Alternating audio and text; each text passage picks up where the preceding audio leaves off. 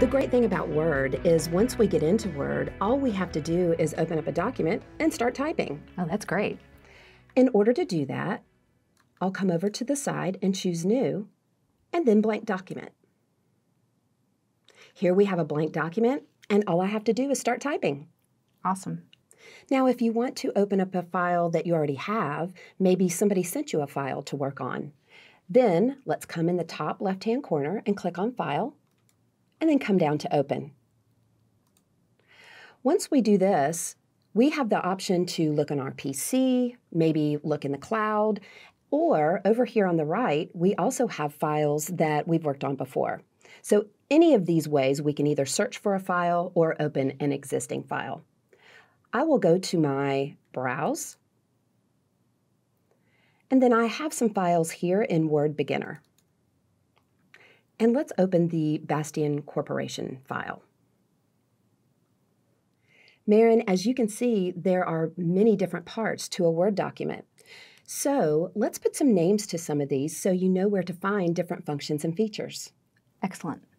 In the top left-hand corner, we have an icon that shows us what app we're currently in. So we are in Word, we're in the right place.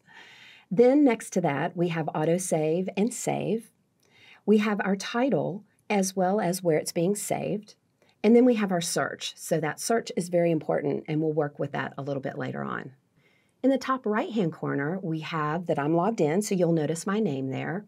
We also have announcements so that we can be notified of new features. And then we have some sizing options in the top right-hand corner where we can minimize or size or actually close out of our file. Notice that we're on the Home tab and we have the Home ribbon underneath that. And this ribbon is separated into groups that have names at the bottom of each group.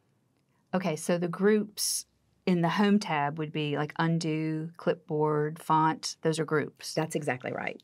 In some of these groups, you'll notice in the bottom right-hand corner that there's an additional icon. I can click on this.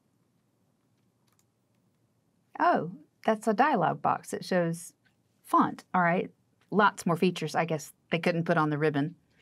You're right. And here, once we click on that launcher, we can utilize or look for additional functions associated with that group. I'll choose Cancel and bring us back to our ribbon. Christina, will the ribbon always show up? That's completely up to you.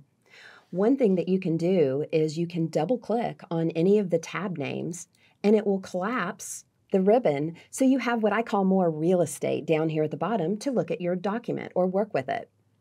If you double click again, oh, that's neat. It will put your ribbon back up there and keep it up there for you.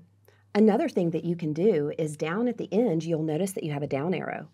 If you click on that down arrow, it will give you some options like putting it in full screen mode or showing tabs only or always just showing the ribbon, which is what I have now. Okay. As we move down the page, you'll notice that we have a ruler. And then if I hover over on the side, notice that we have a scroll bar that will appear. I can use this a couple of different ways. I can either click and drag in order to move down the page or up the page. Or notice that we have these down arrows or up arrows if you need to have a little bit more control. Let's move down the page to the status bar at the bottom. Notice in the bottom left-hand corner, we have the number of pages. Next to that, we have the word count and the character count, as well as some other important information in using this document.